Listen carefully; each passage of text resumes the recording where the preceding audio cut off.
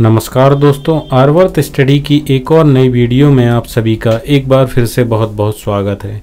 दोस्तों, इस वीडियो में हम आपको एक बहुत ही महत्वपूर्ण क्वेश्चन का आंसर देने वाले हैं तो वीडियो में लगातार बने रहिए। दोस्तों, हमारा क्वेश्चन यह है कि ऊर्जा का सबसे बड़ा स्रोत क्या है? तो हम आपको बता दें कि ऊर्जा का सबसे बड़ा स्रोत सूर्य है। सूर्य हर जगह विद्वान होता है, इसलिए यह ऊर्जा का सबसे बड़ा स्रोत माना जाता है। पेड़ पौधों को सूर्य से ही ऊर्जा प्राप्त होती है। तो दोस्तों, अगर इस वीडियो के माध्यम से आपके क्वेश्चन का आंसर मिल गया हो तो हमारी इस वीडियो को लाइक करना मत भूलिएगा। और ऐसी इंटरेस्टिंग वीडियो के लिए हमारे इस चैनल को सब्सक्राइब ज़रूर कर दीजिएगा।